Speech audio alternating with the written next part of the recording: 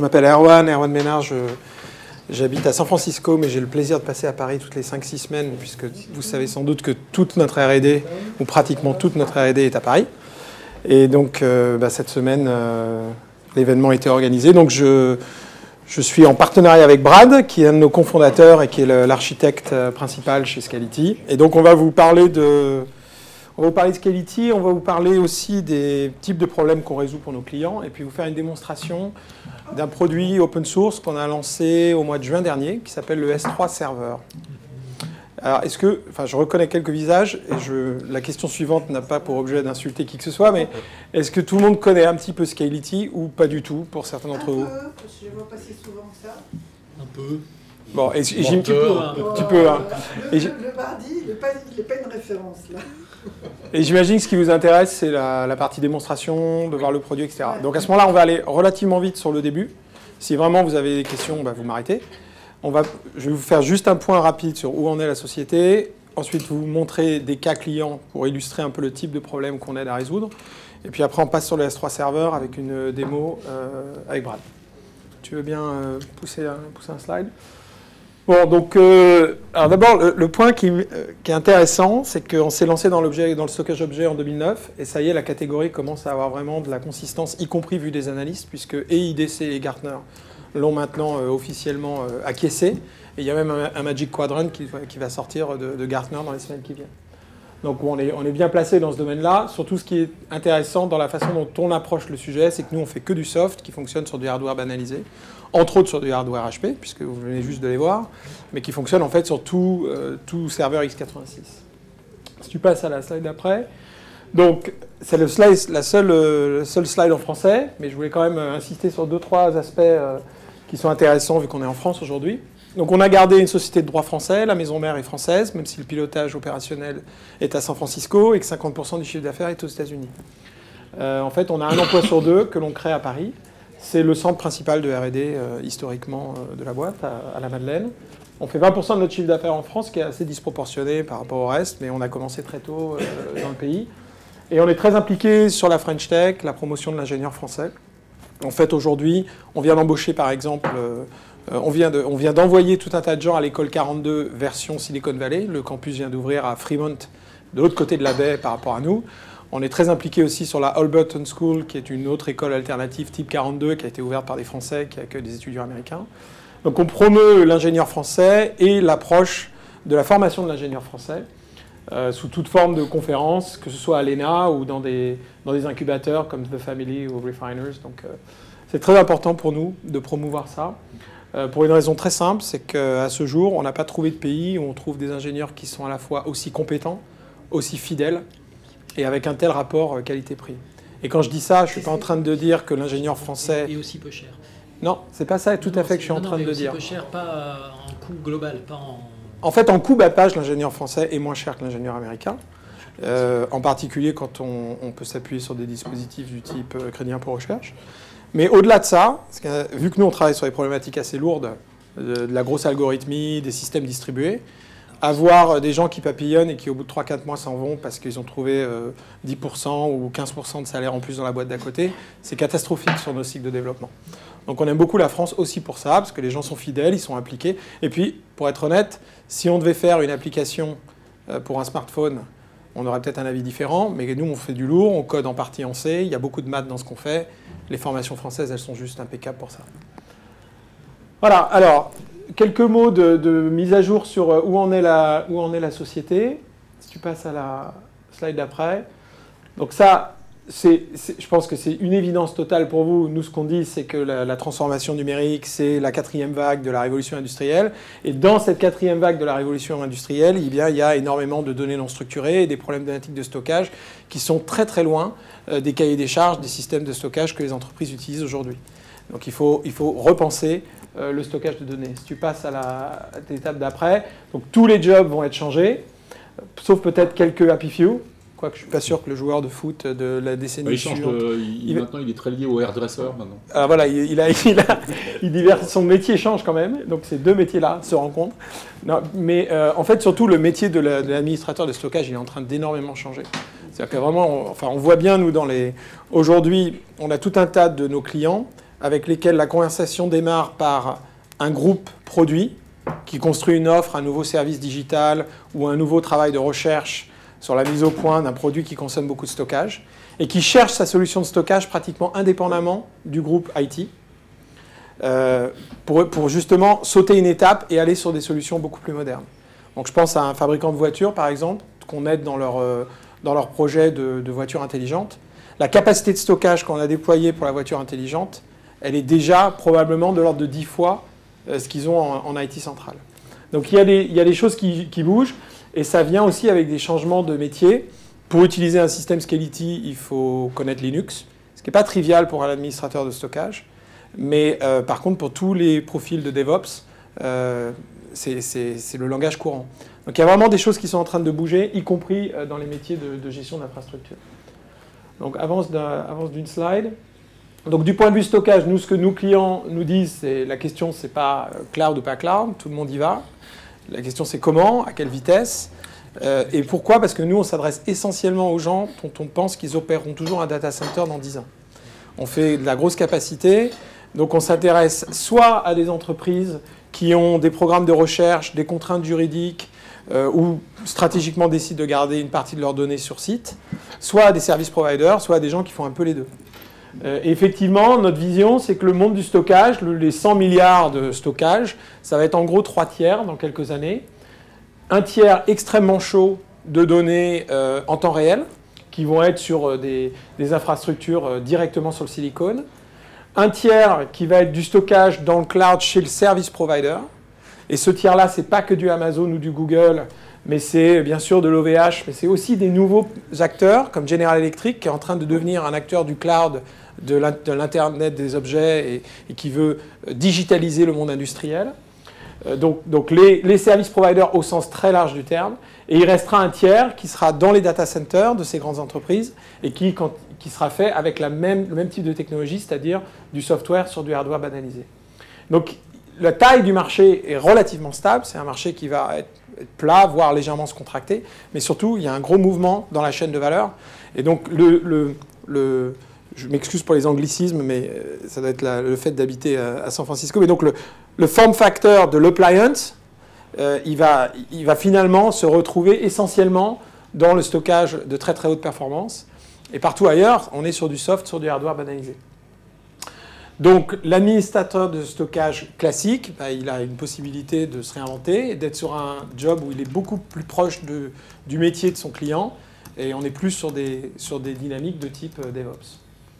Tout ça étant dans un passage à une échelle euh, beaucoup plus importante. C'était, enfin, le, le pétaoctet c'est devenu relativement courant. Moi, j'étais surpris de voir le nombre de le nombre de clients qu'on a à l'échelle pétaoctet en France. Alors, justement, ans, si, le, si, le, marché en revenu euh, reste stable et qu'on a de plus en plus de capacité, ça veut dire que le, le prix au giga euh, ou au terra continue va, à descendre. Continue à descendre. Va continuer à plonger. Ouais, euh... Il va continuer à plonger. Donc il y a un phénomène, la densification qu'on a connue sur les disques, ça continue d'avoir lieu. Mais il y a un autre phénomène, c'est que dans cette recomposition de la chaîne de valeur où le soft et le hardware se séparent, si vous regardez le profil en bourse de MC Etap, ils sortent des 60-65% de grosse margin.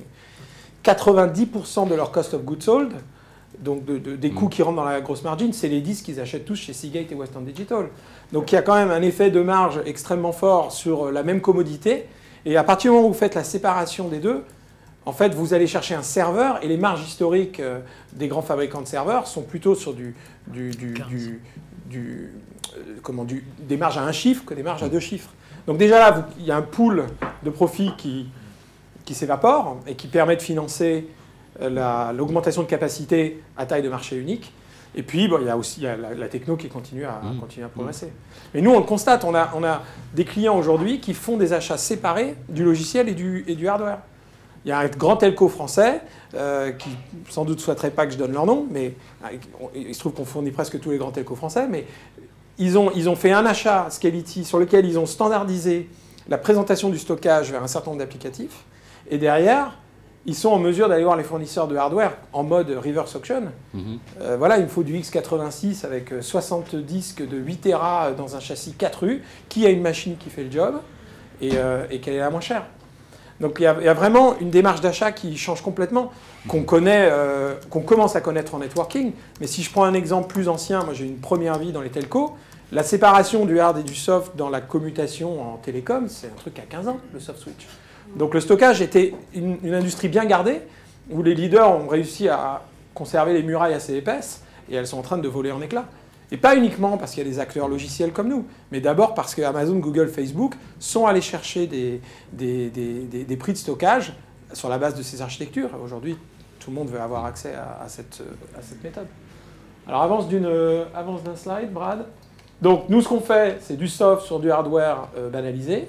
On a un très très fort partenariat avec un HP qui nous revend et qui peut même offrir une expérience appliance si vous voulez. On peut installer Scality chez HP dans l'usine d'HP, comme ça quand ça arrive chez le client, ça a l'aspect d'une appliance. Et aujourd'hui, dans vos partenariats, celui qui, euh, qui drive le plus de business, c'est euh, Dell ou HP Alors, en, présence dans la base installée, euh, c'est HP. qui est aux alentours de 35%. Donc ça reste quand même très diversifié. Aujourd'hui, on a des instances de Scality sur HP, sur Dell, sur Cisco, sur Supermicro, sur Seagate.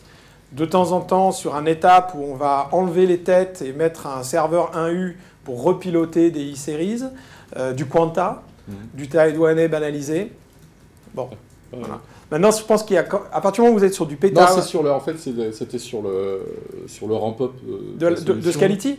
Ouais. Ben, nous, ça a été un gros atout d'avoir les accords de revente HP euh, et Dell, il n'y a aucun doute. Aucun doute.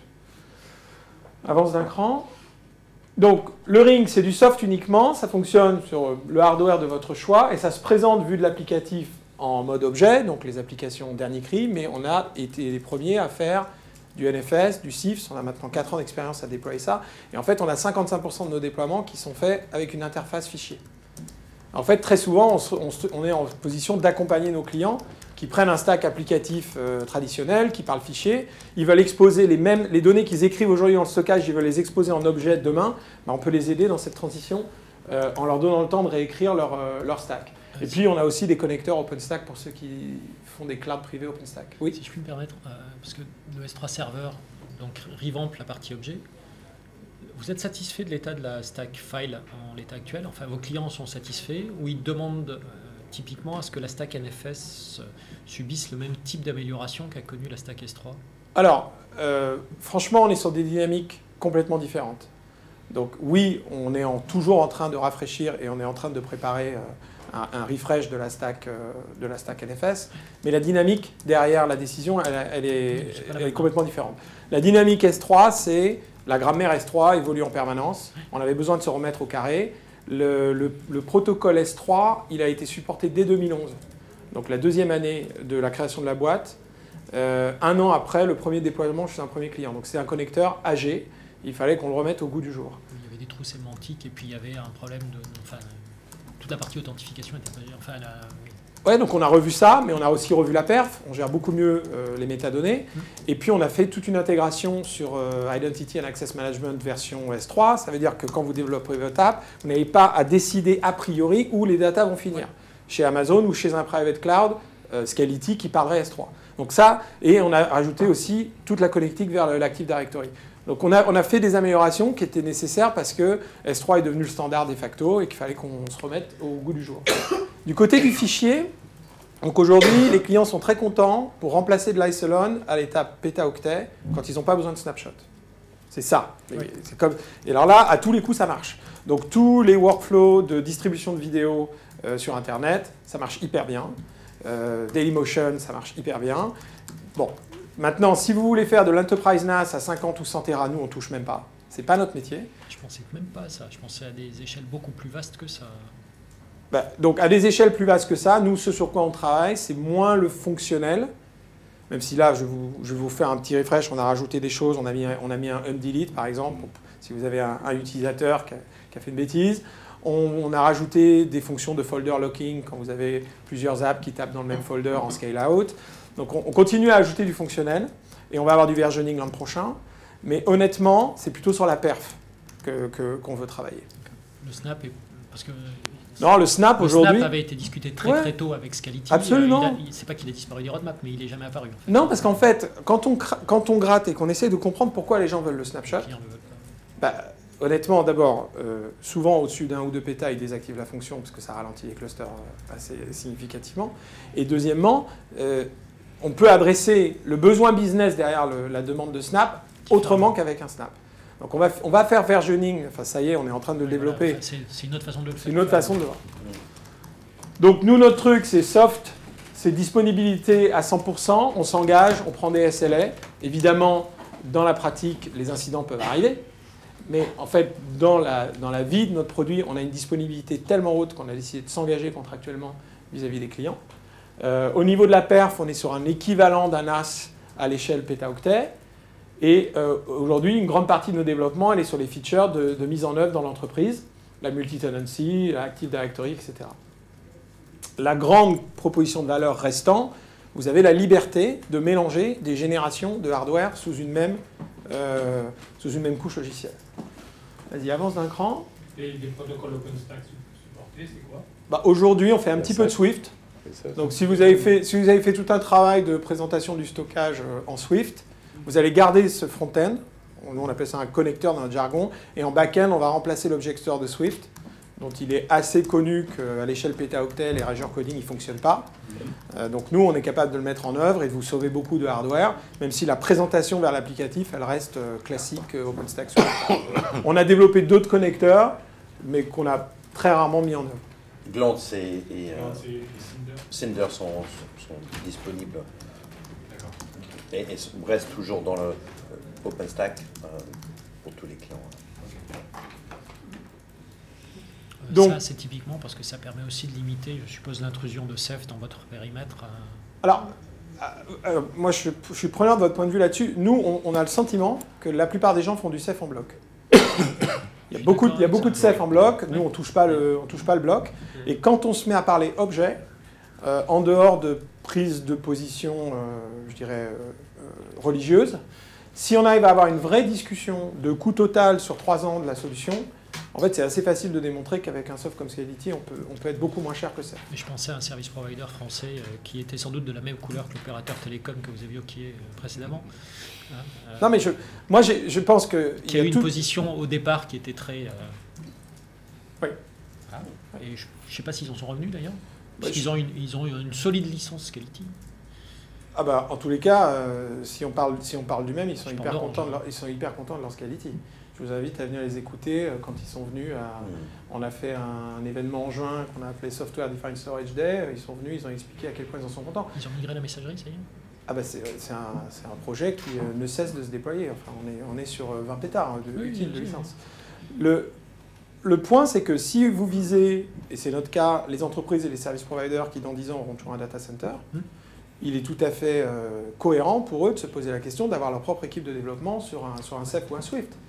Euh, donc ça existe. Et je pense que le monde sera multi-cloud et qu'on n'a pas forcément vocation à, résoudre tous les problèmes. Ce que je vous dis simplement, c'est que quand on nous donne une chance, euh, je dirais, euh, non religieuse, de faire une comparaison de coûts, en faisant l'intégrale des coûts, moi je dis, je dis aux clients, est-ce que vous voulez vraiment dépenser de la R&D sur un niveau de logiciel de stockage ou est-ce que vous, vous considérez que votre valeur ajoutée est plus haute dans le stack?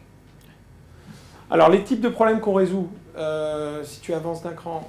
Donc, nous, les clients nous disent, on cloudifie, et d'ailleurs, ce sera multi-cloud.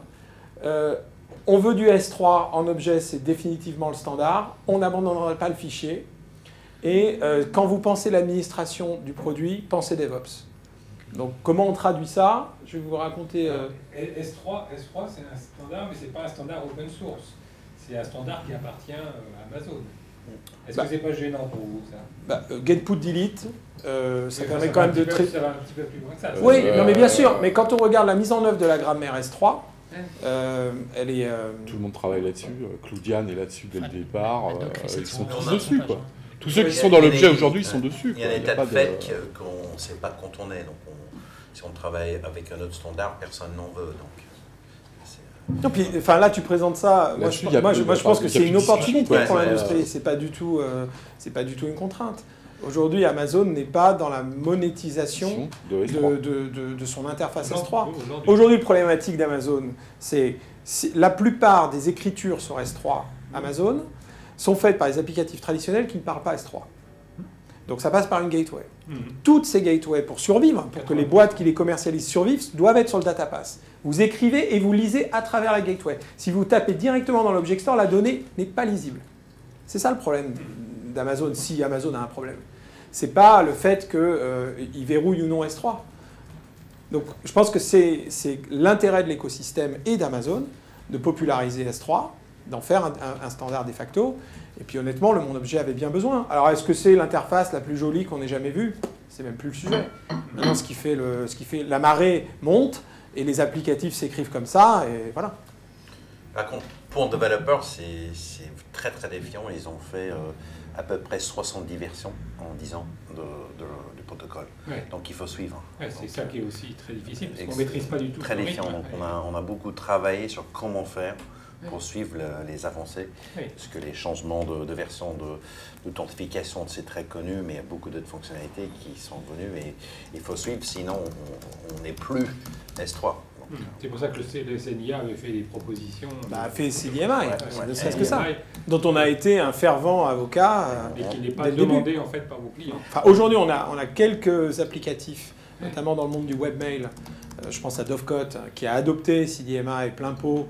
Et on a d'ailleurs euh, on a fait des super systèmes avec eux mais ça a pas eu de, ça reste des, des, cas d'application relativement de niche. Et, la version le plus simple de, de CDMI, c'est qu'elle peut delete aussi. Hmm, Donc on a beaucoup de clients qui ont, consomment du système de fichiers avec du get delete. On peut mettre un CDN devant CDMI et ça, ça, fonctionne directement.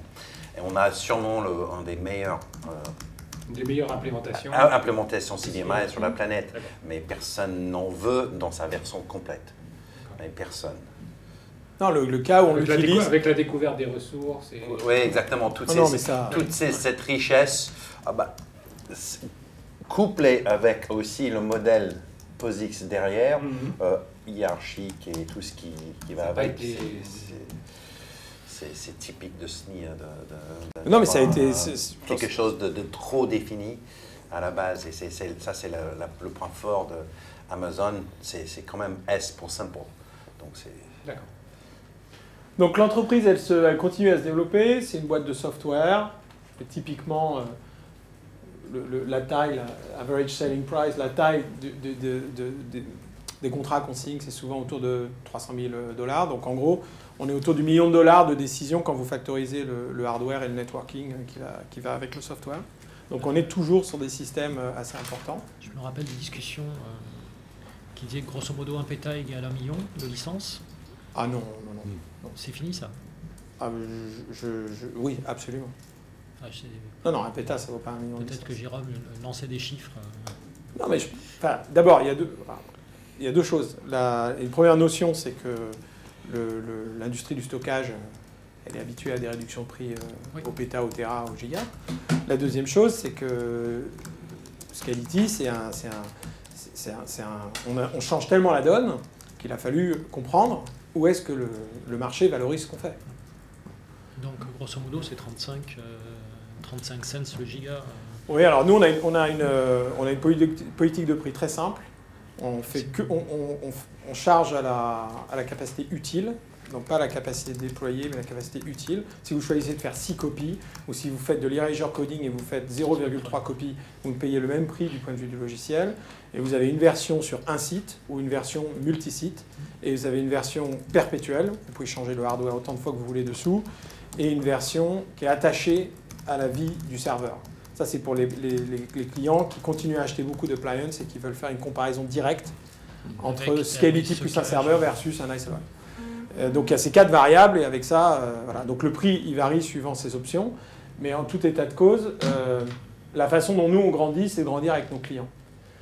Aujourd'hui, chez Dailymotion, on est au dernier pointage à 36 pétas bruts de déployer. Et notre premier déploiement, il date d'il y a un peu plus de deux ans. Donc notre, métier à nous, c'est de grandir avec nos clients. et on travaille de plus en plus pour, développer l'entreprise, on travaille de plus en plus avec des, avec des, fournisseurs d'applicatifs euh, qui peuvent maintenant se certifier en ligne, en particulier s'ils supportent le standard S3. Donc on leur fait une certification, self-certification online, et, c'est comme ça. Et, on développe, on a lancé un programme autour des, revendeurs et des, canaux de vente pour démultiplier la force de vente de la société. Donc aujourd'hui, on fait déjà 15% de notre chiffre d'affaires en Asie et pour être plus précis, au Japon. Et on est très très fiers de ça parce que c'est pas facile de satisfaire un client japonais. Donc c'est un bon test pour la, maturité du produit. Alors quelques exemples rapidement. Juste une petite chose parce que on peut adresser le marché japonais en ayant une filiale, ce que vous avez. Oui. Euh, mais dans la pratique, les Japonais font souvent confiance aux intégrateurs euh, locaux, et en l'occurrence aux grands, aux grands systèmes. Euh, les NEC, les Fuji, les Hitachi. ça veut dire que vos ventes passent essentiellement par ces gens-là? Non, en fait, la façon dont on, est, dont on a pénétré le marché japonais, c'est grâce à nos partenaires applicatifs dans le monde du webmail. Et donc c'est Zimbra, OpenWave qui nous ont emmenés chez KDDI, SoftBank, qui sont deux des trois plus gros telcos. c'est comme ça que ça a commencé avec des intégrateurs hyper spécialisés dans le webmail. Aujourd'hui, on fait pas mal de choses avec, euh, avec HP. On a aussi un programme de recherche en commun avec Fujitsu. Et, et, on a maintenant tous les grands intégrateurs japonais qui nous prennent en compte dans la fourniture de systèmes qui vont au-delà du stockage, des systèmes beaucoup plus complets. Je pose la question parce que nos amis japonais sont aussi un tantinet en avance sur le reste du monde pour, pour certaines applications IoT. Aujourd'hui, nous, on a peu de conversations IoT au Japon. On a les conversations. IoT, euh, ville intelligente et autres joyeusetés. Ouais. ouais alors, pour, le moment, nous, on ne voit pas ça, ce qui ne veut pas dire que ça n'existe pas. Hein. mais euh, on est très, nous, sur le, classique, euh. les services providers, et puis on commence à avoir des use cases d'archives pour de l'engineering, par exemple dans l'automobile, hmm. d'archives d'instituts de, de, recherche. Donc on est, on les, on les trouve pas précurseurs en stockage objet. Hmm. On les trouve un petit peu un petit peu derrière, un petit peu conservateur. Les Chinois Les Chinois, on a décidé pour le moment de ne pas y aller. C'est-à-dire que si on, si on fait un deal en Chine, ce sera strictement derrière euh, Dell ou HP. Euh, on a considéré que dans le développement de la boîte, c'était encore trop tôt. Euh, on est déjà projeté sur beaucoup de territoires géographiques pour une boîte de 200 personnes. Et puis c'est ça aussi d'avoir signé ces grosses alliances, c'est de pouvoir se déporter sans avoir forcément à monter des filiales. justement, le partenariat avec HPE en France, il a un peu modèle, puisque le support. Euh, support guichet unique, absolument. Euh, la France avait été utilisée comme prototype. Ça a été étendu à d'autres pays ou euh, Oui, alors aujourd'hui. Non, aujourd'hui, HP propose le guichet unique. Maintenant, c'est une décision qui se prend pays par pays et qui est souvent liée en fait à la, à la compétence qui est disponible dans le pays. La, taille de marché, je suppose, enfin au fur et à mesure qu'il y a des clients. Au début, il nous parle de taille de marché, c'est toujours la même histoire, parce qu'il y a un investissement, etc. Et si vous décortiquez le problème, pour faire un guichet unique sur un applicatif qui est complètement dans le userland, sur un Linux standard, sur un x86 standard, le triage entre les problèmes hardware et software est extrêmement simple. Si je prends la liste de tickets ouverts à notre guichet de support, je suis dans les 2-3% de tickets qui nous ramènent à un problème hardware. Et ça, c'est nouveau dans le stockage, hein, parce que dans le, dans le stockage, quand vous avez un problème sur une bête stockage, généralement, vous changez un contrôleur, moi, je me suis occupé d'une boîte de stockage d'appliance avant. 60% des contrôleurs qui rentraient à l'usine parce qu'ils avaient été déclarés fautifs sur le terrain, étaient en fait en parfait état de fonctionnement. C'est-à-dire que la frontière entre les problèmes hardware et software était extrêmement floue. Pourquoi? Parce que pour extraire de la perf des disques, les fabricants redéveloppaient tout le stack d'OS pour l'alléger au maximum, et on n'a plus besoin de faire ça aujourd'hui. Et on a une frontière qui est beaucoup plus propre. Donc en fait, ça coûte pas très cher à HP d'offrir, euh, en termes d'investissement, en compétences, etc., d'offrir ce guichet unique. Avance d'un cran. Donc quelques exemples euh, clients rapidement. Donc ça, c'est les, les industries, les secteurs dans lesquels on travaille le plus. Donc les services providers de tout crin, qui soient traditionnels, telco, euh, câbleaux, qui fassent de, l'infrastructure à ce service, de l'hébergement, ou qui soient des fournisseurs de, services cloud en mode SaaS et autres. On travaille de plus en plus avec le secteur bancaire, le, monde du média, et puis d'une façon générale, toute grande entreprise, notamment qui a des besoins de recherche-développement, qui génèrent beaucoup de données non structurées, donc beaucoup de travaux de simulation, par exemple. Euh, et euh, enfin, euh, aider les gouvernements sur les aspects police, vidéo, etc. juste une petite question sur les financial services, parce qu'on a vu une boîte à San Francisco il n'y a pas très longtemps, qui est Versity en l'occurrence, qui fait de l'archivage en fait une partie des, use cases euh, dans, le monde bancaire, c'est archivage dans un, dans un déversoir objet. Oui. Euh, c'est le type de scénario que vous voyez ou ils ont d'autres euh, d'autres types d'utilisation Qu'on voit ça, on voit le private cloud, parce que c'est des organisations extrêmement distribuées. Donc j'offre un service cloud à tout un tas d'entités. On voit de la centralisation de, stockage. Ouais. on voit de la centralisation de backup. Et on voit aussi euh, du private cloud pour développeurs, parce que toutes les grandes banques ont d'énormes équipes de développement qui voudraient aujourd'hui passer sur de l'objet. Et donc ils, commencent à ouvrir des clouds pour que leurs développeurs puissent jouer, avec de avec les, les nouvelles, avec le S3 serveur et autres, est-ce que vous avez abaissé un petit peu le, seuil pour les euh, business auxquels vous, euh, vous, avez des, enfin, vous rentrez en compétition? Ouais, donc Parce qu'avant, vous étiez à un niveau quand même qui était... Euh, donc aujourd'hui, nos licences, elles démarrent à 200 Tera, utiles, donc souvent 300 bruts. on n'a pas changé ça. D'accord. en revanche, avec le S3 Server, on a une instance mono-machine, non scale-out, non haut dispo, gratuite. Et donc en fait, tous les clients qui viennent nous voir en disant j'adorerais utiliser Scality Ring, mais j'ai pas encore de 100 Tera, on leur dit pas de problème, prenez le S3 Server. le jour où vous avez une, notion de multisite géographique ou que vous souhaitez euh, euh, aller au-delà de quelques centaines de Tera et que donc mécaniquement vous allez vouloir un scale-out, on vous aidera à, passer. Mais on a, on a, bien résolu ce problème de cette façon-là. Je pense que ça aurait été, enfin on est convaincu aujourd'hui que ça aurait été une erreur d'essayer d'amener le produit à faire du 100 ou du 50 Tera, comme Clardian fait énormément de deals à l'échelle dizaine de Tera. Et pourquoi? Parce que quand vous allez sur des organisations qui veulent du stockage objet pour 10 ou 20 Tera, très souvent, elles n'ont pas fait leur révolution culturelle euh, autour du métier qui va avec, de la compétence Linux, de maîtriser sa chaîne applicative. Et donc, on est plutôt sur euh, bon, bah, euh, j'ai un problème de stockage, je voudrais éviter d'acheter un NAS traditionnel. Et, on ne trouve pas forcément chez ces clients-là les potentiels de croissance qui font que nous, au final. D'ailleurs, ils ne croissent pas. Non, ils ne croissent pas. c'est un secret de polichinelle. Il y a énormément de, super proof of concept euh, à 20 Tera, mais bon, euh, ce n'est pas les problèmes que nous, on essaye de résoudre. Parce qu'on est convaincu que dans 10 ans, ces gens-là, ils auront tout mis dans le cloud. Alors ça, c'est les cas d'usage. Donc beaucoup de choses autour du public cloud, des, clouds privés, le backup, qui, qui est en fait un très bon sujet. Euh, vous n'avez pas faire la dédupe, elle est dans tous les softs. Voilà, et, alors ce côté, on rassemble toutes les cibles de backup sur un seul stockage objet et on arrête en permanence de bouger les données d'un volume à l'autre parce que les utilisateurs derrière ont changé leur politique de préservation de données. Ça a quand même beaucoup d'avantages et on arrive sur des, gains euh, significatifs. Et puis, ce qui n'est pas du tout classique dans l'Object Store, mais qui est très classique de Scality, tout ce qui est autour de, la vidéo. Donc rapidement, quelques logos, si tu veux bien avancer. Donc Public Cloud, euh, les, services vers le consommateur, donc des emails, des photos, des vidéos, on fait beaucoup de ces choses-là, on en fait dans le monde entier. Donc vous connaissez Dailymotion, euh, Orange, on le fait chez SoftBank au Japon, chez Telstra en Australie. Aujourd'hui, on a fait une évaluation euh, grosse maille, il y, a, 500 millions de consommateurs dans le monde qui, semblent savoir, stockent sur du Scality, et les gens le font parce que bah, ça marche et ça croît de façon extrêmement facile le, slide d'après, euh, donc toujours cloud public, mais plus des services d'infrastructure ou de plateformes as a service vers des clients entreprises. Donc euh, bah, aujourd'hui Rackspace nous utilise, mais il n'y a pas que les grands euh, du cloud. NetDocument c'est très intéressant, c'est un, c'est un Américain qui fait une offre de stockage pour les petits cabinets d'avocats. Donc c'est construit avec tout un travail autour de la compliance des données, euh, nous, on est la sous-couche de stockage. Bon, ils avaient démarré sur d'une étape. Un jour, ils ont trois disques qui sont tombés en panne dans la même baie et, tout leur business était par terre. Et donc, ils sont, ils sont repartis sur de l'objet. Euh, Daisy, c'est un groupe anglais qui fait du disaster recovery as a service ou de l'archive as a service. Alors, avec OVH, on démarre quelque chose d'intéressant. C'est que, en fait, vous pouvez utiliser votre licence Scality sur du serveur OVH. Bon, D'ailleurs, nous, c'est ce qu'on fait. L'essentiel de notre infrastructure, elle est chez OVH en, en R&D. Euh, voilà, donc ces gens-là, ils viennent chez nous parce qu'ils veulent avoir le même type d'économique euh, qu'un Amazon, mais en gardant le contrôle de leur, euh, de leur data center.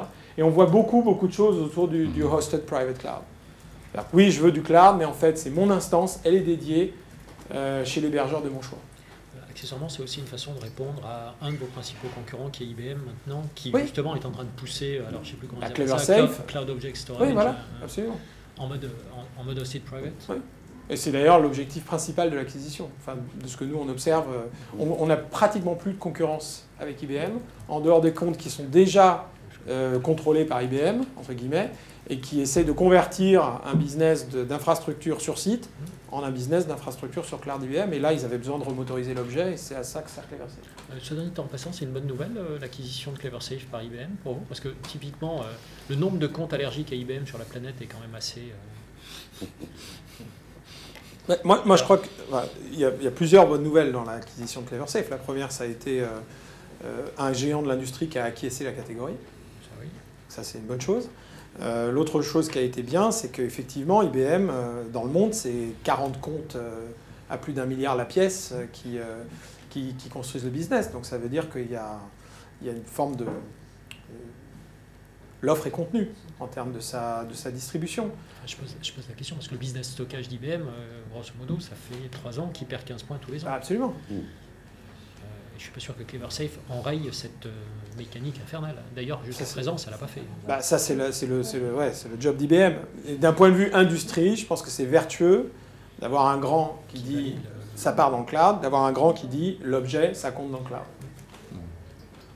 Si tu avances d'un cran, euh, Brad, donc beaucoup de choses autour aussi du private cloud. Euh, Bloomberg va, est en train de revoir toute sa chaîne de distribution de contenu. Donc je ne suis pas en train de parler de la partie terminaux de trader, etc. Le contenu euh, c'est l'info.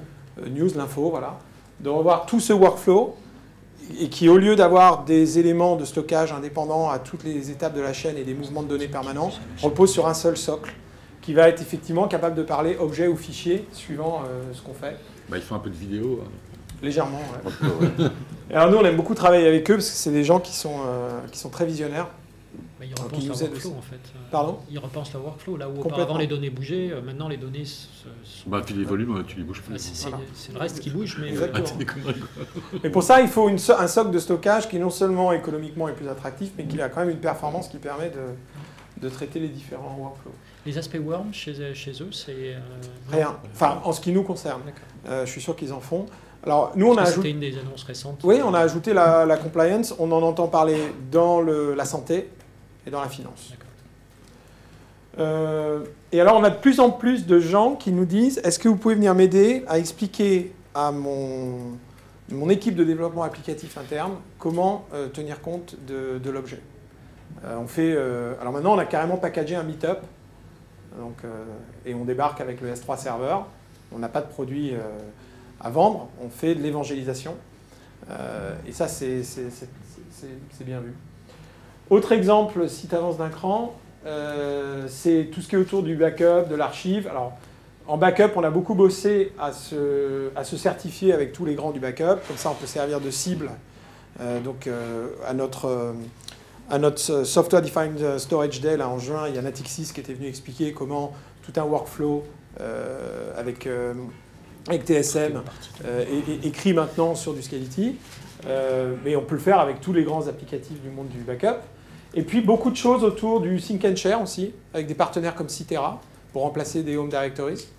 Euh, et puis plein de choses autour des archives de R&D. C'est impressionnant de voir comme des projets comme la voiture intelligente, ça génère énormément de vidéos, qui viennent informer les algorithmes de développement des capteurs sur la voiture, par exemple. On parle de pétaoctets de vidéos pour, euh, pour des travaux de simulation. Euh, juste une petite question sur la vidéo, parce que euh, quand on fait de la vidéo, une des tentations, c'est de la présenter à des clients finaux, Mhm. euh, avec de multiples formats, etc., etc. Il y a toujours eu cette question de dire, est-ce que c'est le métier du stockage ou pas de reformater les, les vidéos, réencoder les vidéos en de multiples formats Donc, Donc nous, on n'a pas de fonction de, de- de transcodage sur, sur le produit, Mais vous tournez sur Linux. mais on a des clients qui le font. Et donc, est-ce qu'il y a des clients qui marient en fait sur un même nœud le transcoding et le stockage? Ah, ça, je suis pas sûr, je non, pense pas. pas pour l'instant. On a, On a des workflows de transcodage qui écrivent à toute vitesse le même fichier en plein format. Fil de l'eau. Hein, je, pense- je pense à un ouais, bah, on, qui en a sur la prochaine slide. ouais. Mais euh, du transcodage in situ sur le même serveur, je pense pas. Euh, Est-ce qu'il y a un effort, un effort euh, commercial concert Parce que le marché du backup, aujourd'hui, il est détenu à 60 et quelques pourcents d'un point de vue appliance par un monsieur qui s'appelle EMC, euh, qui vend un produit qui commence à dater, Mhm. au demeurant, euh, et qui le vend très cher. Euh, malgré ça, tout le monde continue à l'acheter, de Mhm. génération en génération, il est scale-up, il évolue pas, Mhm. enfin à chaque fois il y a des problèmes Mhm. de transition, Mhm. etc. Euh, Est-ce qu'il y a un effort concerté de la part de Scality pour adresser ce marché-là? Ah ben, la question principale, nous, quand on arrive dans un compte et qu'on parle de backup, c'est est-ce que vous avez la décision organisationnelle donc on n'est pas en train de parler de techno, Non, non. de centraliser vos workflows de backup sur une cible unique, est-ce que quelqu'un a le Et mandat résiliente. Voilà. Et est-ce que quelqu'un a le mandat? Si cette personne existe et que la décision a été prise, on bosse. Sinon, on bosse pas. Parce que parce que c'est balkanisé. Ça se joue au niveau des départements. On parle de, de- de- de quelques dizaines de terras de droite, de gauche. Et l'assemblage du business case euh, qui fait que c'est- c'est c'est attractif, il est hyper compliqué. Il y a un, pa- un paquet de grandes banques en Europe, notamment, Oui. qui, ont, qui, ont, qui ont justement centralisé cette question-là maintenant, Oui. mais qui achètent par contre des euh, dizaines d'appliances mouse. euh, Oui, mais, mais ce sont la des cibles idéales pour nous. Et quelle est l'argumentation principale là, en votre faveur de Ascality centralisée par rapport à la- Ah bah les économies d'échelle sont, sont monstrueuses. C'est-à-dire qu'aujourd'hui, Même sur la DDU. En fait, vous pouvez gérer la dedupe euh, complètement au niveau applicatif et, la donnée arrive dédupée euh, sur le ring. Mais, mais au-delà de ça, le ratio entre le stockage utile, dédupé ou non, et le stockage brut qu'il faut déployer est infiniment meilleur en stockage objet. Si vous êtes sur un monosite, on va tomber sur des ratios à 1.25, 1.3. Donc ça, c'est incroyable. Ensuite, vous êtes sur du hardware banalisé, donc vous sortez du form factor euh, appliance avec la marge à 60% parce que tout ça a été joliment packagé. Donc, donc vous arrivez à des... Enfin, ce sont des business cases extrêmement simples. Et avec ceci, on a aussi la bien meilleure protection des données qui, qui fait qu'ils peuvent imaginer la copie backup suffit. D'accord. Au lieu de- La durabilité. Ouais, la durabilité est bien meilleure. Et la durabilité ne cesse d'augmenter plus le système est grand. Puisque c'est un système complètement distribué qui utilise en permanence toutes ses ressources pour protéger toutes ses données. Il n'y a pas de notion de, de points centralisés, etc. Et vous, et vous communiquez sur le nombre de copies que vous maintenez dans votre architecture ou c'est quelque chose qui Bah, est... Oui, enfin, c'est- oui, c'est quelque chose dont on parle tous les jours avec, les, avec nos clients. Et c'est pour, et c'est pour ça que je vous parlais de ce ratio. C'est-à-dire qu'en fait, on ne fait pas de copies. On fait des copies de fragments de données Oui, on- et on écrase le ratio au maximum. Et c'est ça qui fait baisser la note. hein. Enfin, à la fin, c'est uniquement de l'économique. Alors, sans compter que euh, euh, quand vous centralisez et que vous écrivez dans un namespace, dans un espace infini, Oui. vous sortez de la problématique des volumes, Voilà. hein, qui qui quand même aujourd'hui occupent beaucoup les le administrateurs stockage. avantage En faveur du stockage objet par rapport à- au volume à Donc vous pouvez continuer à affecter les volumes. Imaginons que vous ayez un applicatif de backup qui parle fichier et que vous ne voulez pas changer ça, parce que c'est les habitudes. hein. Vous pouvez toujours affecter un volume. Dire la division A, la division B, la division C, vous avez des volumes séparés. D'ailleurs, moi, Central IT, je vais vous facturer en fonction, etc. Qu'est-ce qui se passe quand ils sont... Mais, mais de toute façon, derrière, ces volumes ont- sont eux-mêmes de taille infinie chez nous. Ils ne sont pas attachés à, à un certain système. Donc vous pouvez continuer à avoir la même relation avec vos clients internes, contrôler, gérer de la même façon, sauf que vous ne passez plus votre temps à bouger les données. Puis accessoirement, il y a l'élimination de double investissement, parce que toute façon, tous ces softs-là incluent la déduplication, Mhm. qu'on repaye dans les appliances. Ah ben complètement. Enfin, d'une certaine façon, qu'on repaye dans les Ah ben appliances. oui, oui. oui. Oui, parce qu'effectivement, si vous ne prenez pas le la dédupe dans le soft, vous allez pouvoir enlever une option, mais bon, il ne faut pas rêver. À un moment, vous payez un peu. Elle est dedans. Voilà. Et un- aussi un plateforme fédéré, un très bel avantage quand l'événement pour lequel on fait le backup arrive et on veut restaurer les données, au lieu d'avoir euh, 20 têtes de lecture, on a 6000 disques euh, qui, qui ont tous une partie de la donnée et on peut le, le restaurer à une En vitesse parallèle. euh, Ouais. en parallèle. C'est- euh. Bah ouais, c'est- Euh, Accessoirement, dans ces scénarios-là, c'est souvent du multisite, parce que, là, enfin, Alors on trouve du multisite parce que souvent, Ouais, on est dans des grands groupes qui veulent de la protection géographique entre les sites. donc il y a au moins deux data centers en fait pour Souvent, la- pour ouais. l'infra Scality. Et, euh, et- et en fait, si vous avez des data centers euh, proches, avec un, un temps de quelques dizaines de millisecondes de latence, entre, ce qui est très facile à faire en France, Si vous êtes chez on va même ou vous traiter ces euh, deux data centers logiquement comme un seul. Hein, parce qu'on voit, on voit ça du, vu du ring comme un ensemble. Ce qui fait que vous devenez résistant à la panne de disques, de serveurs, de racks et de sites.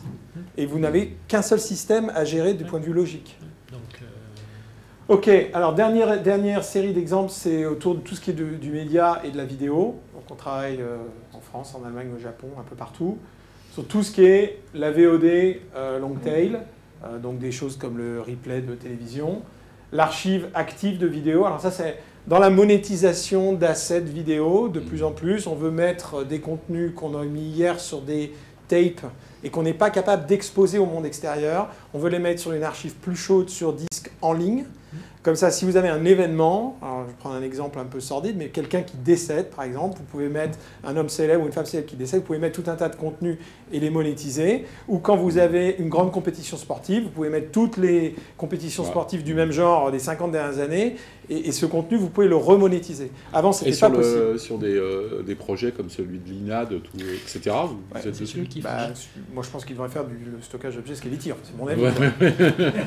Ouais. Mais a priori, pour l'instant, ils font toujours ce qu'ils veulent. hein. Ça fait, c'est- Non, non, mais faut- en France, on a convaincu beaucoup de gens, mais on en a encore à convaincre. Ouais, on, a, on aime beaucoup ce pays. Celui-là, ça va pas être facile. Et après, il y a tout ce qui est autour, euh, tout ce qui est autour du, du NAS, qui a quand même euh, dominé euh, la chaîne de distribution. Enfin, Isilon a fait un travail génial il y a, il y a 10-15 ans. Et bah, place, place aux nouvelles architectures. Mhm. Donc c'est le cas, par exemple, chez RTL en Allemagne, où, où, en fait, on Deux autres les- questions. Euh, vous aviez aussi beaucoup de références autour des centres de recherche, voire des agences euh, HPC, gouvernementales. C'est toujours le. Donc c'est toujours le cas. C'est toujours le cas. Euh, Non, c'est parce que comme je voulais Ouais, et ne c'est sont vrai, plus et mis c'est- en avant. Non, c'est vrai tout- qu'on l'a- on le met moins, on le met moins en avant pour une raison très simple.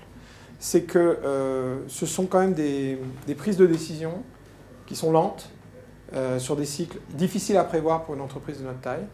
Donc en fait, aujourd'hui, derrière nos partenaires comme HP, on fait, on fait plein de business de type HPC. Euh, on a aussi euh, des grands du HPC qui viennent directement nous voir. On vient de signer Oak Ridge National Lab, qui est, Mhm. qui est juste un, Ouais. magnifique logo en HPC. Mais pour être honnête, c'est eux qui sont venus frapper à notre porte. Et on a, on, a, on a recentré nos propres efforts commerciaux sur des entreprises qui ont tendance à décider plus vite. Euh, de toute façon, en ayant signé Los Alamos, le CEA, le CNRS, euh, on a euh, Oak Ridge qui vient d'être signé. Bah, il manque plus que le Notre- SA et la NASA. Voilà, notre nom est connu dans ce milieu Mhm. et je suis sûr qu'on continuera à faire du business. Et c'est des gens, c'est des super clients parce qu'ils sont très pointus techniquement. Donc pour nous, c'est des gens qui sont très faciles à servir. Ouais, ils sont presque des, ouais, des, des, des, des- des co, euh, Ah ouais. Ah oui, complètement. Alors, avec Los Alamos, on a, on a poussé plein de portes, on a exploré plein de choses. Par curiosité, ces gens-là, d'ailleurs, parce que euh, il y a toujours une API native dans Scality. Oui, oui, elle existe. Euh, ouais. Une grammaire reste euh, de base. quoi. Ces gens-là utilisent quoi? Alors, euh, beaucoup de Fuse, en fait. Ça permet de... hein Et de plus en plus d'objets. Et de plus en plus d'objets, Ouais, mais ouais. par contre objet au sens S3 du terme ou objet au sens euh, l'API euh, historique euh, Bah, le- de plus en plus l'objet API euh, euh, GetPod Delete. hein.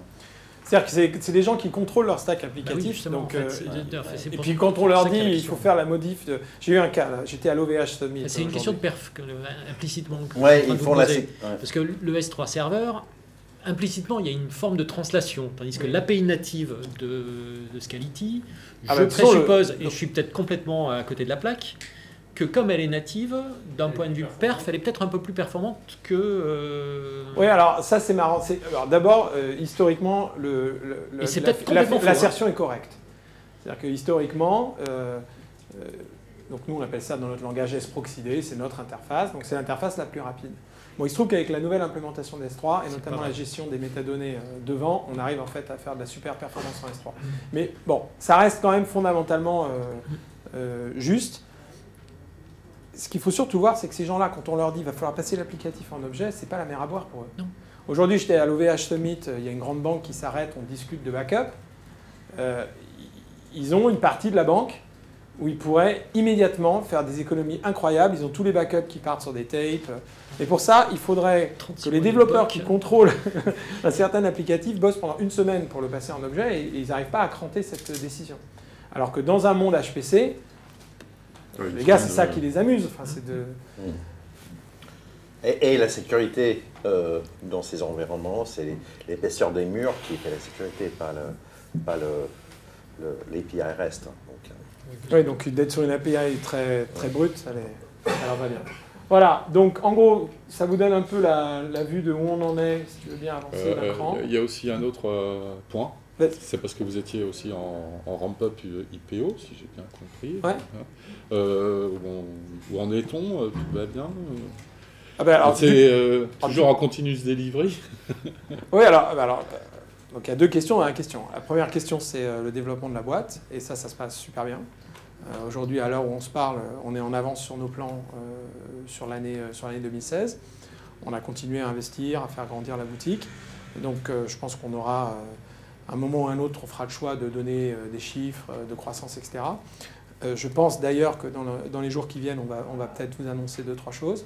On, vient de faire, on vient d'inclure dans l'équipe de management, on a rentré deux, deux, deux, très grosses pointures qui nous aident à faire grossir la boîte. Et donc dans l'annonce qui va les évoquer, qui va sortir dans les jours qui viennent, je ne serais pas surpris qu'on vous donne quelques éléments sur la croissance du business. Après, la question de l'IPO, bah, chez, chez, Scality, on a énormément de chance, c'est que vu que nos investisseurs historiques nous soutiennent très fort, ils ont toujours réinvesti, mmh. euh, en fait, aujourd'hui, l'IPO est un moyen, ce n'est pas, pas un aboutissement. Et donc, euh, le marché, les marchés n'ont pas forcément été très euh, accueillants pour les bah, IPO, même si les Nutanix vient de faire, Nutanix vient de faire quelque chose d'intéressant. Pour être fort intéressant. Oui, mais en, nombre de transactions, enfin en nombre d'IPO, il y a une, il y a une, il y a une baisse. Il y a donc, sont sélectifs. Mais donc nous, aujourd'hui, ce qui nous intéresse, c'est dans le, donc, dans le financement de la croissance de l'entreprise. Euh, nous, on est persuadé que cette catégorie qui fait 5 milliards, c'est une catégorie majeure pour le marché à venir. On veut être, on veut être un acteur qui met sa marque. Donc il faut qu'on finance notre croissance. C'est certain que c'est une croissance qui doit continuer à être financée. Mais entre guillemets, euh, on est dans une situation où on peut à la fois aller vers des investisseurs privés, à commencer par nos investisseurs historiques, euh, qui, soutiennent très fort euh, l'entreprise. Et puis on peut aussi se poser la question d'aller sur le marché public. Donc hmm. la bonne nouvelle, c'est qu'on peut, on peut travailler ces deux aspects-là. Après, le jour où on va faire une IPO, bon, bah, c'est peut-être peut pas comme ça qu'on vous l'annoncera. Et on... Non, non, non, mais euh, c'était plus ou moins dans le, dans, le, dans le pipe pour l'année prochaine, normalement. Non, je pense que le, le, data point Nutanix, c'est très intéressant. Ils ont quand même été bien accueillis. Il faut voir comment ça va, se, ça va se dérouler dans le temps. Oui, mais sur un marché qui pour le coup est bien évalué, enfin bien évalué, c'est-à-dire qu'on commence à avoir des métriques sur ce marché-là, mais absolument, qui sont assez claires. Euh, c'est pour, ça que le fait que Gartner fasse un MQ sur notre secteur, je pense que ça va, ça va être un des éléments qui vont cranter le fait que bon bah c'est plus lisible pour le monde des investisseurs en particulier. Et puis ils vont savoir que le marché va être équivalent à celui du Tanix qui sera à 35 milliards. Juste une petite question, elle est peut-être débile, hein, et puis vous ne répondrez peut-être pas, mais il y a eu des rumeurs comme quoi Scality avait signé un important contrat gouvernemental anglais euh, une agence gouvernementale qui ne dit pas trop son nom parce que c'est voilà, euh, justement dans les marchés non mais dans les marchés de voilà, de surveillance euh, et que ça représentait une contribution non, non triviale au chiffre d'affaires du c'est vrai ou c'est de la, ça relève de la rumeur Vous avez vu sur le slide tout à l'heure, dans les, dans les industries que l'on vise, il y a clairement aider les gouvernements sur les questions de sécurité. Il n'y a aucun doute là-dessus. Spécifiquement euh, Non, après, c'est pas par la nature même des choses. On en... Après, vous imaginez bien qu'avec les origines qu'on a hmm. en tant qu'entreprise, euh, on ne fait pas ça euh, n'importe comment, n'importe où. Et puis, on est aussi très proche de grands fabricants informatiques qui, qui, ont, eux, déjà des positions bah, fortes dans ce type de compte. HP, en l'occurrence, en France, pour les agences en question, est habitué depuis longtemps à autoriser les clusters qui vont bien. En l'occurrence, je, je, je pense je Pas, je pensais pas à la France, hein, je pensais vraiment à l'Angleterre. Bah, c'est clairement, clairement un secteur qui a une contribution à notre chiffre d'affaires, sans aucun doute. Et je pense que c'est euh, euh, sain que d'un point de vue technologique, ces problématiques-là soient vraiment adressées avec une approche euh, hyperscale, web, etc. c'est mieux pour les impôts de tous les contribuables de tous ces pays déjà, pour commencer. juste une petite question en parallèle de ça, c'est que les méga contrats aujourd'hui, ça représente une part significative de votre activité. Pour le coup, le fait que la technologie se banalise fait que finalement euh, un méga contrat est dilué en fait euh, par. Euh, ah, nous, on assume complètement le fait que il vaut mieux être au cœur d'une révolution dans le business de notre client que d'avoir un petit projet dans un coin. Donc on a tendance à graviter vers les grosses affaires qui sont en plus généralement génératrices d'extension et de croissance, et c'est comme ça qu'on développe l'entreprise. Je posais la question parce que typiquement c'était Los Alamos qui était 150 et quelques pétards. Hein, ils ont une licence à un demi oui, mais, mais, donc, Après, ils, rempliront au fur et à mesure, je suppose. ils remplissent au fur et à mesure. Mais on a une tendance à graviter vers ces contrats-là, même si on prend pas mal de contrats à quelques centaines de terras, parce que souvent la première étape, pour se faire la main, c'est. Mais dans le choix des comptes, on a tendance à aller vers les comptes qui ont beaucoup de potentiel de croissance. Et ce ne sont pas tous des boîtes du CAC 40. Il y a plein de boîtes de CAC 40 qui n'ont pas un pétaoctet de stockage. Mais par contre, ça va être une boîte de médias qui, euh, qui mise tout son business sur vous. Et ça, pour nous, c'est une super relation. Parce qu'on est sur quelque chose où il y a beaucoup de densité, il y a beaucoup d'intimité. Et donc, on sera le partenaire de la croissance. Et puis, il y a plein d'entités qui vont gérer beaucoup de données qui ne sont pas des entités cotées. Euh, qui sont des entités publiques euh, ou semi-publiques. Ah absolument. Et partout dans le monde, hein, qu'il soit capitaliste ou pas. Alors, quelques mots sur euh, le, développement logiciel chez Scality. C'est peut-être pas forcément votre angle de vue principal. Là, on vient de parler des usagers, mais nous, on veut juste dire un mot là-dessus parce qu'on est très fiers d'avoir de la R&D à Paris. Et en particulier, un truc que je voulais vous montrer. Donc, on en est, si tu avances d'un cran, on en est à la version 6 du produit. Alors, d'abord, pour répondre à la question de tout à l'heure. Donc, si votre objectif, c'est de faire du développement d'applications, vous allez sur le S3 Server. Si votre objectif, c'est de faire de la prod, euh, au-dessus de 2 Tera, vous prenez le ring. Et puis, en, en monosite, vous prenez le serveur et on vous aidera à passer de l'un à l'autre. C'est comme ça qu'on a positionné le serveur. Donc, ça, on en a parlé tout à l'heure. On a sorti la version 6, si tu avances d'un cran. La version 6 du produit, ce qu'on a décidé avec la version 6 du produit de passer en continuous delivery. Donc, développer le soft exactement à la mode euh, des grands services cloud. Alors, on n'est pas en continuous delivery au sens où il y a une nouvelle feature chaque jour, mais on livre des nouvelles fonctionnalités toutes les 4 à 6 semaines.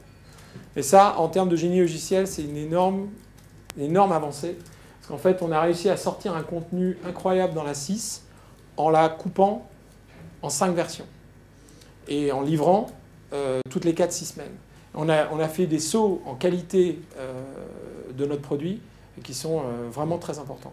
Ouais, parce que vous sortez la feature quand elle, Voilà. quand En elle est fait, prête, quoi. On raccourcit le- le temps entre le moment où le développeur la code et le moment où un client la touche. Et donc la boucle de feedback est beaucoup plus efficace. Puis on a aussi fait tout un travail sur l'automatisation des tests. Vous êtes développeur, vous committez votre feature, comme on dit, et quelques minutes plus tard, vous avez une première batterie de tests qui est capable de voir si elle a cassé quelque chose ailleurs dans le produit.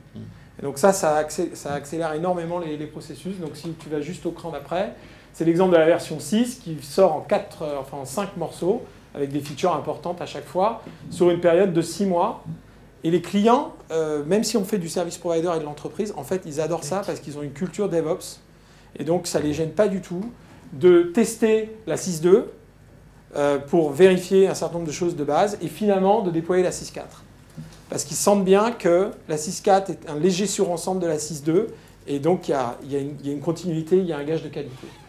Maintenant, on continue à offrir euh, de la maintenance très long terme à nos clients. Donc de temps en temps, on gèle, c'est ce qu'on fera avec la 6.4.1, et, et on ne fait plus que de la maintenance. Et là, on change de, on change de train, comme on dit. Mais c'est... euh, Enfin, ce que nous disent les développeurs, c'est si vous êtes à Paris, vous êtes développeur et vous voulez faire du développement logiciel pointu dans l'infrastructure, en gros, il y a Scality et Criteo. Et parce qu'on est sur des méthodes de développement super avant-gardistes. euh. Donc voilà, on est très fiers de ça, je voulais juste vous en dire un mot. Tu nous fais une démo Accessoirement, il y a- alors, vous pouvez aller faire une démo vous-même en ligne. On a, on a un petit démonstrateur, mais surtout, ça c'est Ouais, sur le ring. J'ai pas les pétas de données. ouais. Mais, euh, mais surtout, tu vas nous parler du S3 Server. Oui, je, je parle avant de faire le démo peut-être. hein. Ouais, si tu veux.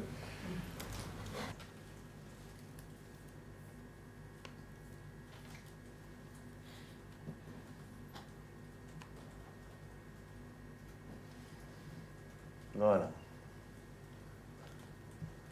Donc plus vite parce qu'il était de toute façon déjà disponible sur la machine. Donc si la, dernière version n'est pas disponible, il le télécharge. Il lance dans un container. Go forth store data. Il va se lancer. Donc là, là, il explique que on peut le lancer en mode euh, mémoire uniquement. Et on a un système de metadata qui est euh, semblable à celui qui est dans le produit, sauf qui n'est pas distribué. Et une des choses qu'on a changé dans cette version, c'est que le- le- le- les autres parties du produit utilisent une base de données complètement distribuée dans le ring. Celui-ci est, euh, local sur un groupe de serveurs qui fait que, par exemple, pour un bucket unique, on cherche dans un seul endroit euh, pour les données. Ça, c'est un des, plus gros défis d'Amazon S3, c'est le, le- le fait que euh, un bucket euh, peut avoir des milliards d'objets dedans, et il faut les indexer, avoir les performances d'indexation extrêmement fortes.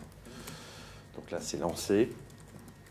Euh, Ça veut dire qu'en fait, quand le nouveau S3 serveur là, est couplé à- à- au ring, Mhm. la gestion des métadonnées est propre au S3 serveur. On n'utilise plus la gestion de métadonnées du ring. Exactement, exactement. Donc c'est, j'ai des slides qui expliquent. euh, on a beaucoup travaillé sur ce modèle-là. Donc c'est un système complètement distribué, utilisant un protocole de, euh, qui s'appelle Raft, qui, est assez connu, un Paxos assez, assez spécifique. qui permet de garantir la disponibilité des données sur, une plateforme. Donc les, performances sont, bien meilleures que le système complètement distribué qui, a besoin de, des faibles latences. Et ça, c'est une des contraintes du modèle S3.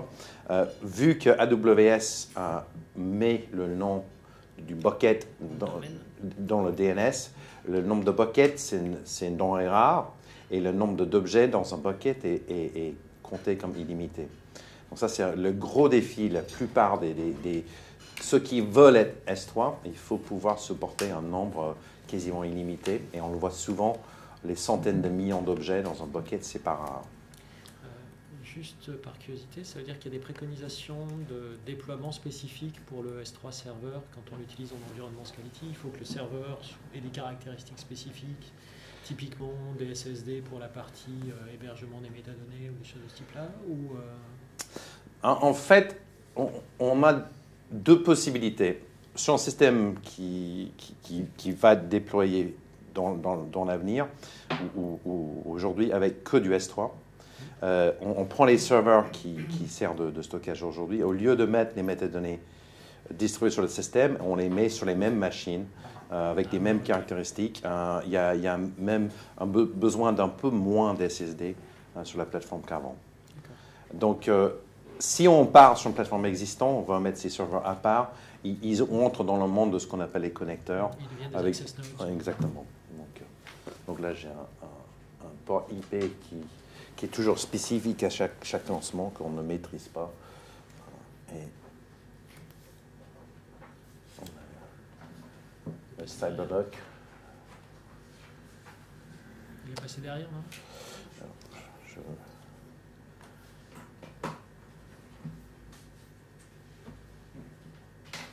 le forcer à avoir une résolution supérieure hein, euh, Oui, j'ai fait, mais les caractères étaient, moins bonnes encore. Donc ah oui, c'est vrai qu'il faut Alors, celui-là, je vais modifier le port.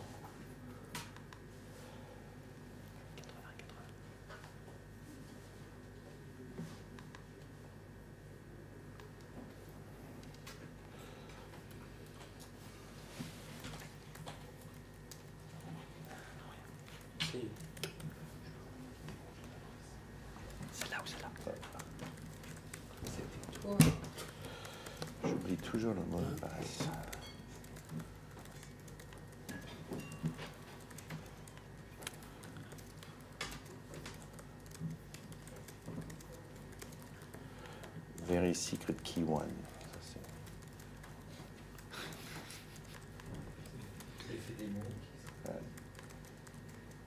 Voilà. Donc j'ai une, une, plateforme vide dans laquelle je peux euh, créer un bucket. Hein. Le célèbre bucket Toto. Non, puis CyberDoc qui a un support S3, donc en fait tu peux. Et euh, je prends les. Sur Mac, c'est que features. donc j'ai les objets dans mon bucket.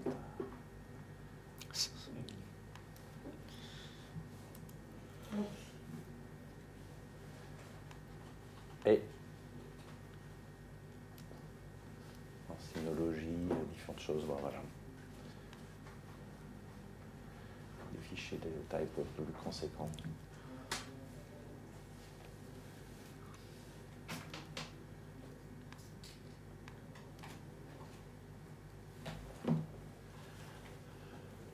Donc voilà, donc on a un serveur Amazon S3 qui tourne dans un container Docker.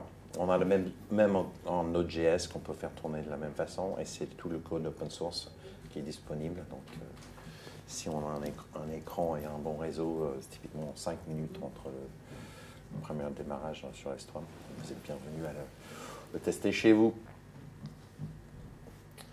Donc ça permet de, travailler avec euh, tout ce qui est protocolaire, et quand on fait les, meet-up, euh, chacun dans la pièce peut installer sur sa machine, travailler avec. Et, le code source est aussi disponible. Hein.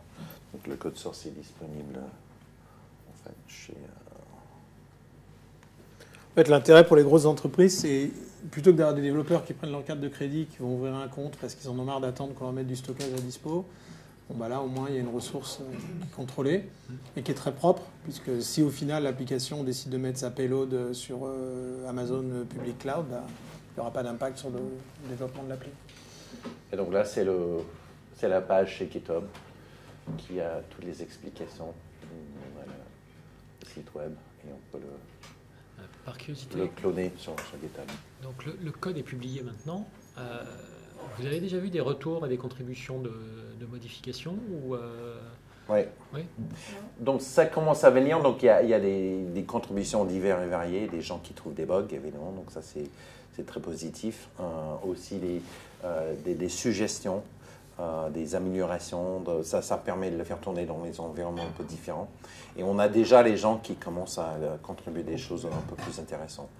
Donc on imagine dans l'avenir qu'il y aura des intégrations avec d'autres euh, d'autres systèmes de de- d'authentification ou, ou autres. le, le mécanisme de licence C'est un mécanisme de licence de type Apache euh, Apache, voilà. ce qui Et en fait aujourd'hui on a soit support par la communauté, on ne s'implique pas du tout, soit un support payant et on a très très peu de demandes sur le support payant et c'est pas du tout un objectif pour nous de faire du chiffre d'affaires euh, de ce côté-là. Donc là, c'est le Apache, la licence Apache qui, qui est présentée. C'est un mécanisme de, de copie ou de déport euh, du serveur S3 une fois que j'ai validé, on va dire, euh, son fonctionnement, que je veux justement passer chez, chez Amazon par exemple, Mm. ou utiliser euh, le déployer ailleurs, mais sans refaire toute la configuration, le paramétrage, euh, le stockage des données? Est-ce qu'il y a une méthode de migration que vous mettez à disposition de, Alors, des, fonctionnalités qui vont sortir en début de l'année prochaine, c'est toute la partie Lifecycle Management d'Amazon S3 qui permet de, pousser les données vers un, un cloud soit Skeletti, soit tiers. Euh, par exemple, pousser les données vers Glacier basé sur les, questions de, policy. Donc, euh, les données plus anciennes qu'à certaines dates, les données avec certains métadonnées particuliers, euh, pousser les données vers un autre lieu ou, ou les, les dé- détruire aussi. Donc, euh, et, et ça peut être un deuxième cloud Skeletti. On a même des discussions en cours avec, euh, avec les, les gens de, de, de la place publique, avec les clouds, de pouvoir faire des li- liens avec des, des systèmes comme ça. Donc, a rien n'empêche de, de- de- pour, pour nos clients de, de simplement être clients d'AWS ou, ou autre. C'est sur la roadmap. Ouais, c'est tout à fait dans, dans le roadmap, prochainement. Vous l'envisagez comme un mécanisme de réplication de bucket Parce qu'en fait, euh, donc, euh, euh, Scality au sens euh, hop, a ses propres mécanismes de réplication. Par contre, à partir du moment où le S3 serveur est installé, euh, Ouais. chacun a son bucket, enfin chacun, on peut avoir de multiples buckets. Avec ce type de, de- de service, on peut imaginer qu'en fait on n'utilise pas les services de réplication du backend Scality, mais qu'on utilise les mécanismes de, de, De lifecycle management, du ouais. S3 serveur pour faire du... euh, Alors, sur la partie open source, euh, le lifecycle management ne sera pas euh, rendu disponible, donc ça c'est un des, Donc c'est des donc c'est une fonction du... de à valeur ajoutée. Euh, par contre, euh, ce qui se fait euh, sur la place aujourd'hui en copiant entre les plateformes, c'est typiquement les, les outils de migration. Donc nous, on a aussi un outil de migration euh, open source public hein, qui s'appelle euh, CloudMig, qui, qui migre entre les clouds et, et qui euh, vérifie les, les checksums, par exemple, de, du contenu de bucket, de, de valider qui sont pareils. Mais il y a, il y a énormément d'outils type AirSync Cloud qui permettent de faire ça. Donc ça, il y a, il y a tellement... Bah, de toute façon, nous, on croit que le monde sera multi-cloud. Et donc, on considère qu'on doit aider nos clients du point de vue de, de la chaîne applicative. Et, et que vu qu'on a un excellent back-end, on aura une partie du back-end qui finira sur le ring. Mais, mais, Oui, mais- non, mais ce que j'avais en tête, c'est que bon, typiquement, il y a l'administrateur de stockage Scality Oui. qui fait ce qu'il a à faire. Oui. Mais de l'autre côté, il y a des users euh, du S3 serveur euh, qui donc sont propriétaires de leur, bu- dans leur tête sont propriétaires de leur bucket. Mm. Et donc si on leur fournit les outils de lifecycle, euh, hop, ils peuvent se dire, c'est plus la peine que je demande à l'autre en dessous de me faire le. oui, tout à fait. Euh, Ouais. J'ai l'outil maintenant pour gérer moi mes mouvements de données euh, comme je le souhaite. Mais c'est pour, ça qu'on va ajouter les, qu'on va ajouter les, les fonctions de lifecycle management intégré avec la gestion de rôle et autres. avec le, avec le ring. Sans vouloir intégrer. Ah, Après, il y a l'apéro, donc euh, vous pouvez poursuivre les questions à l'apéro. L'apéritif, c'est sacré, c'est ça. si on parle pas autour de l'apéro, il faut garder les questions. Ça délie les langues, l'apéro aussi. Ah oui. Oh, ça peut les rendre pâteuses. Après, il faut suffisamment s'y prendre. Ça dépend de l'horaire. Bon, alors dans ce cas, est-ce qu'il y, a- est-ce qu'il y a des points que vous auriez aimé euh, aborder, des questions particulières que vous aviez, qu'on n'aurait pas couvertes? Euh, Non, on a- on a bien- Vous allez partager les slides que vous avez Ouais,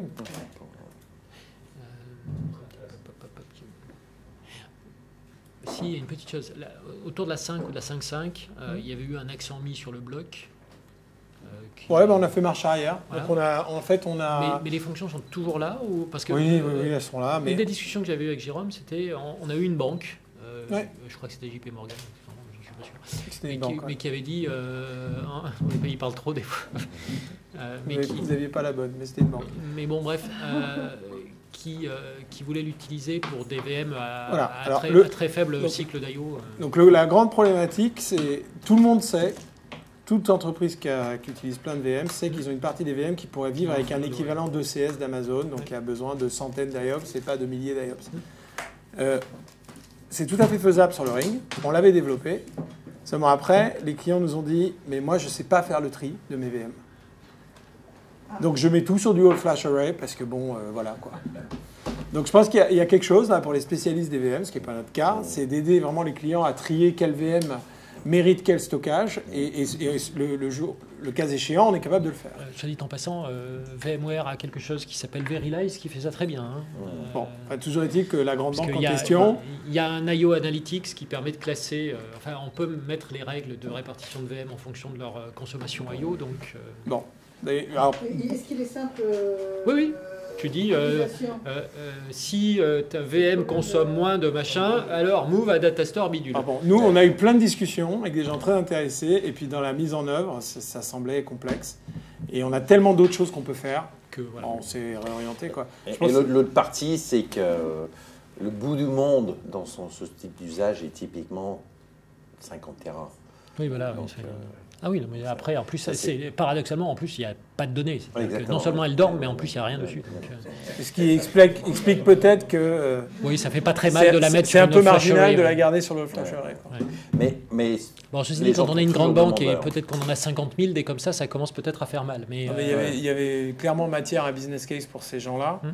Et après, je pense que. après, c'est le généricisé qui devient délicat. hein. Oui, et puis, enfin, moi, je remercie euh, tous les jours les fondateurs de la boîte qui se sont attaqués à un premier use case qui était le stockage des emails, qui est hyper dur d'un point de vue stockage, qui est hyper exigeant. Ça, ça est fait généralement avec des SAN. Donc, on a hérité grâce à ça d'une plateforme qui peut faire plein de choses. Alors qu'on parlait d'un Clever Safe tout à l'heure, il fait très bien du stockage de gros fichiers qu'on ne va pas lire souvent.